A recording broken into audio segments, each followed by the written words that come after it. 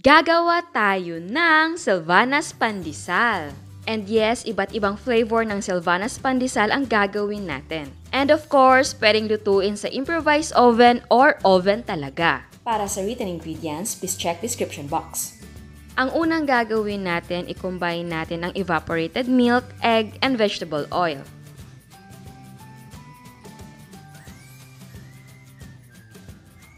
Haluin natin ito. In a separate bowl naman, i-combine natin ang all-purpose flour, white sugar, salt, instant dry yeast, and cashew nuts. Ang cashew nuts ay crush at toasted na ito. Haluin natin. Tapos, i-combine natin ang dry and wet ingredients. Haluin natin na mabuti until maging dough ito.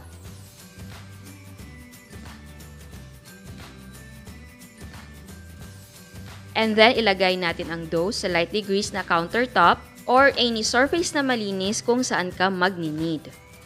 I-knead natin ang dough for 10 to 15 minutes until maging smooth and elastic ito. Again, sticky ang ating dough. Huwag kang matempt na magdagdag ng harina. Kung meron kang mixer ay pwede mong gamitin para hindi ka mahirapan. At kung wala naman, mas maganda kung meron kang scraper para ma-assist ka sa pag-knead ng dough kapag ang dough ay dumikit sa ating countertop.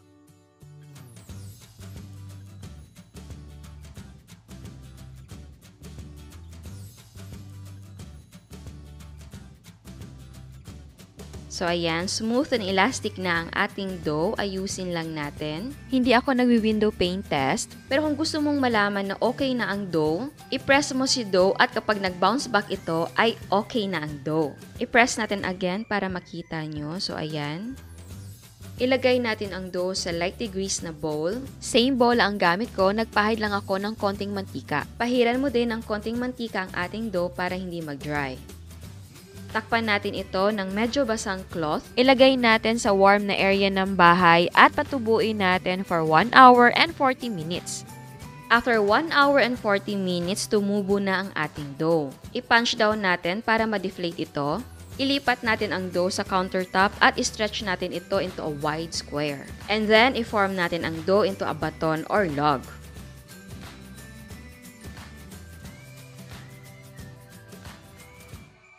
I-cut natin ang dough into 16 equal parts. Kung gusto mo na exact ang size or pareho ang bigat, pwedeng gumamit ka ng timbangan. Kumuha ka ng isang peraso ng naputol nating dough, i-flatten natin ito,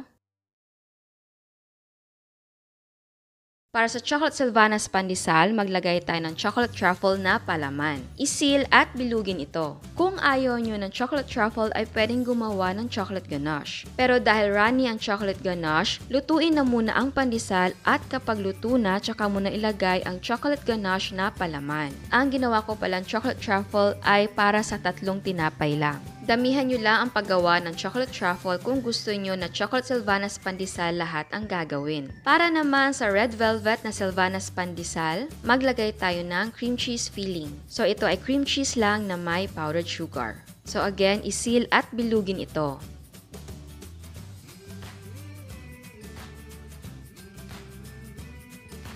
Para naman sa ube salvanas pandesal, maglalagay tayo ng ube halaya. Pwedeng bumili ng ube halaya pero kung gusto mong gumawa, ilalagay ko ang link sa description box. Ang palaman naman natin para sa cheesy salvanas pandesal ay cheese. Eto na sila, inilagay ko sa lightly greased na pan. At naglagay ako ng kulay para hindi ako malito mamaya kung ano yung alin. Takpan lang natin and mag-final rise tayo for 40 minutes. After 40 minutes, nagdoble na ang size nito. At dahil hindi tayo gagamit ng oven, i-preheat natin ang improvised oven or ang ating kaldero for 5 to 10 minutes over high heat. And again, ang ating recipe ay pwedeng lutuin sa oven talaga. Takpan at lutuin natin for 15 to 20 minutes over low heat. After 15 or 20 minutes, i-check natin. Yung top part ng ating bread, hindi talaga magiging brown yan, pero yung bottom ay maganda na ang kulay. At habang pinapalamig natin ang mga tinapay, gawin natin ang buttercream. Para sa buttercream, i-combine natin ang egg yolks at white sugar. Haluin natin ng mabuti.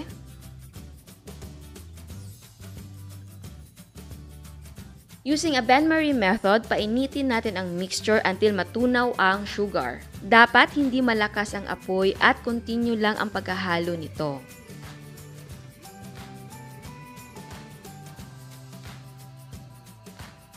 Kapag natunaw na ang asukal, hanguin ito, set aside, and cool completely. At kapag malamig na ang egg mixture, gradually add the butter or margarine. And then, i-beat natin ito on high speed. And yes po, kung gusto nyo, eto na ang gawin yung palaman para sa pandesal ay pwedeng pwede. Kung kulang sa inyo ang tamis, ay pwede magdagdag ng powdered sugar, i-mix nyo lang ng mabuti. Add vanilla essence and mix well. Meron tayong bread na walang palaman at sinadya ko yan dahil lalagyan ko ng Oreo filling. So butasan lang natin ang ating tinapay na walang palaman. Tapos lagyan natin ng Oreo filling. Ang gamit kong Oreo filling ay kapareha ng filling ng Oreo pandesal. Ilalagay ko ang link ng recipe sa comment box. Ito naman ang ating pang-coating. Para sa cheesy sylvanas, ang gamit ko ay cheesecake. And yes, pwedeng gumamit ng mamon or marina biscuit. Para naman sa chocolate sylvanas, ang gamit ko ay chocolate na fudgy bar. Siyempre, pwedeng gumamit ng kahit anong chocolate cake or pwede kang gumawa ng sarili mong chocolate cake. Para naman sa ube, ang gamit ko ay pillow na ube. Again, pwedeng bumili or gumawa ng ube cake. Para naman sa Oreo, ang gamit natin ay Oreo na biscuit or any cookies and cream na biscuit. Ito naman ay red velvet cake. Talagang gumawa ako para sa ating red velvet sylvanas dahil wala akong makitang biscuit or cake na pula ang kulay. Sa pag-a-assemble, magpahid tayo ng buttercream sa buong tinapay. Huwag masyadong manipis at huwag masyadong makapal.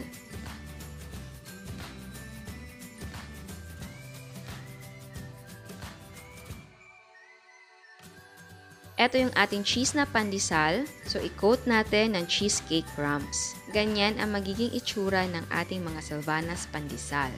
Next naman, i-coat natin ang ube pandesal. Ito naman ang red velvet cream cheese pandesal. Remember, huwag kalimutan na maglagay ng buttercream sa bottom ng ating tinapay.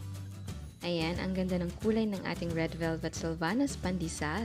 Sunod naman, i-coat natin ang chocolate pandesal ng fudgy bar na chocolate flavor. Ito naman ang ating Oreo pandesal. So ayan, eto na ang ating Sylvanas pandesal. And yes, masarap din siya kapag chilled.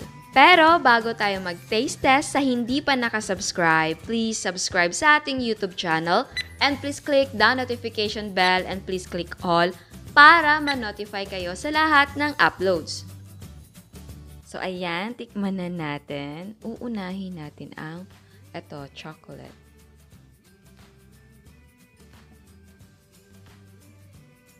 Mmm.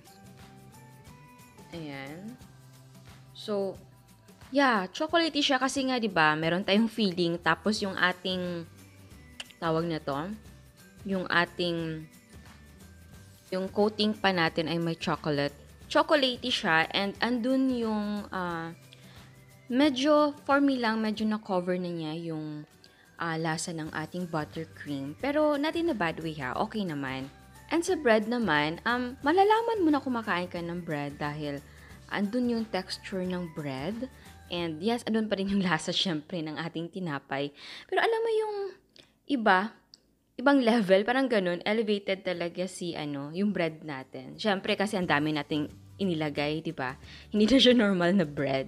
So, ayan yung chocolate natin. Tikman natin yung iba na naman. Actually, gusto ko pang kumagat, kaso lang, magpipicture kasi ako, so ayoko na, alam mo yun, maraming kagat. So, eto naman yung next. Tsaka ang dami ko pang iti-taste test. So, eto naman, yung ating may cheese. Oo, eto. Mm, mm, mm, mm, mm. Mm-hmm. Ay, mm Ang sarap. Ang sarap niya. Gustong gusto ko yung ano, kombi. Ano ba yan? Oo, parang, siguro kasi ang sarap nung inilagay natin na, na, na crumbs. Tapos, Ang sarap ng combination niya sa ating buttercream at yung cheese. Hindi siya, hindi maalat yung cheese natin. Maalat siya syempre kung marami yung nakainin mo. Pero yung combi niya, ang sarap. Ang sarap niya. Sunod naman ang ating ube. Ayan. Let's get this one. Mm-mm-mm. Uy ha, nagustuhan ko rin yung ube. Oh my gosh. Ang sarap nga. Tapos oh nga pala, oo, may lasa din yung ating bread na uh, cashew nuts, pero hindi siya yung strong. Talaga nagko-complement lahat. Oy, uubusin ko yan lahat mamaya. Next naman, ang ating red velvet. Mm-hmm. mm-hmm. Mm-hmm. So yeah, masasabi mo talaga na red velvet siya dahil nga dun sa ating uh, cake and sa ating feeling na cream cheese. Tapos, syempre may buttercream pa tayo. So yeah, malinamnam. Next naman, ang ating Oreo. Malaki siya. Dito na lang ako kukuha sa likod. Kasi malaki yan. Yeah. Medyo messy lang siya kainin, no? Kasi yung crumbs niya talagang nahuhulog. Mm, mm, mm, mm. Siyempre, Oreo, masarap. Ano pa nga ba? Pero ang comment ko lang sa gawa ko, talagang sa, nag-comment ako, no? Ano, siguro magbabawas ako ng crush na Oreo sa ating feeling kasi ang dami na nating, um, syempre nag-coat na tayo ng, ng Oreo. So, it's either magbabawas na lang ako sa coating or dun sa mismong cream. Pero masarap siya. So, depende na yan sa inyo kung paano nyo i-adjust. Kasi syempre, kanya-kanya ano yun eh, yung alam mo yung sa gusto, sa lasa. So, lahat ng ginawa natin, syempre, kanya-kanyang ano yan. So, ito na, di ba, nagbigay na ako sa inyo ng ganitong recipe. So, nasa sa inyo yan kung ano yung gusto nyong baguhin. Which is okay lang talaga. Kasi ganun naman talaga yun eh. Kaya, I'm so happy nakagawa ko nito. Naku, ang dami natin nagawang uh, flavored pandesal. Isa to sa nagustuhan ko kasi colorful and napaka-yummy talaga niya. So, ayan, sana nagustuhan nyo. Or kung meron ibang gusto na flavor na gawin na ganito yung style, ay nako, I'll be very happy.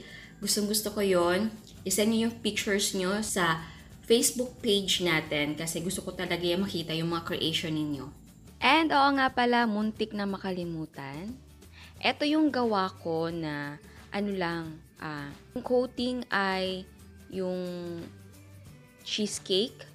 Tapos yung inilagay ko sa loob ay buttercream din. So, pwedeng gawin yung ganito lang. Tikman natin. Mm, oh my God.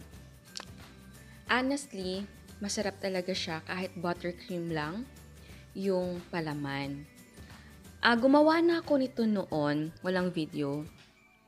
Tsaka yung bread ay walang cashew nuts. So, ano talaga siya? Bread na plain. And then, naglagay ako ng buttercream sa loob. Inalagay ko sa ref. Mas masarap siya. Ako lang, gusto ko, masarap yung lasa niya kapag uh, malamig. Tapos, uh, nag-firm na yung ating buttercream. Ito masarap din. Pero, uh, I think madali ka makuumay kasi nga, ano siya eh, uh, runny yung ating buttercream. Pero kapag nasa ano siya, nasa malamig siya at galing sa fridge, yung nag medyo yung nag-firm up siya. Ang sarap niya, honest. Hmm? Sarap niya. Kahit ito masarap. Ay nakadagdag lasa yung ating ano, cheesecake. Yeah, mm, sarap. Oh my god. so ayan, sana nagustuhan nyo. Ciao! At eto ang mga prices ng ating mga sangkap. Again, pwedeng ikaw na ang gumawa ng cake para sa crumbs. Ang nagawa natin ay 16 pieces. Ang total cost ay 263 pesos and 97 cents. Pwede mo ibenta ng 200 ang 8 pieces na assorted. Again, ang selling price ay magdidepende kung magkano ang presyo ng sangkap sa inyo. At bago ako magpaalam, meron tayong another dose of inspiration. Ito ang cookies ni Miss Reynalyn. Sapin-Sapin by Miss Joy. At eto naman ang custard cake ni Miss Juvie. Again, I want to say thank you sa lahat na nagpapadala ng mga photos. Pasensya na at konti lang ang i-feature ko ngayon kasi masyado nang mahaba ang ating video. But don't worry, yung iba sa next recipe video naman natin. Again, salamat talaga sa suporta. And remember, stay safe at sa mga hindi pa nakasubscribe, please subscribe sa ating YouTube channel and please click the notification bell and please click all para ma-notify kayo sa lahat ng uploads. And please don't forget to like our Facebook page and follow us on Instagram. Thank you!